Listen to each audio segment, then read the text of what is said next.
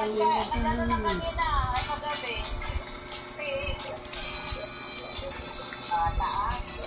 kasi wala nang dumating na order eh. Hanggang, hanggang ngayon, diba? Bukas pa. Pero okay lang kasi wala ka na mga huling ano. Oo nga.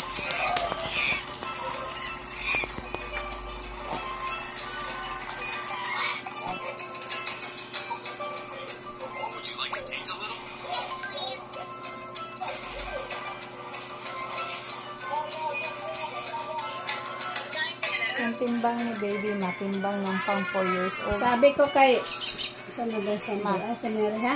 Timbang ni baby, timbang ng pang 4 years old. Pang 4 years old na. Talaga. Eh, magti-3 pa lang naman siya. Si Napalo. Hana, ano pala? Three na si Hana ngayong ano, uh, 18. Sino nasabi na pang 4 years old? Yung nurse. Kaya okay lang lang naman daw. Pero, siya sa gatas. Eh. kailangan daw matuto na siya kumain ng ano. Kaya saging na lang daw palagi para may ano potassium. Saging. Ayun lang nga. Kasi sa ano. tinapay, kumakain naman siya sa mga biscuit. Yun. Kaya dapat matuto siya sa saging. Nakain-kain naman siya ng saging. Saging, ibang klaseng prutas.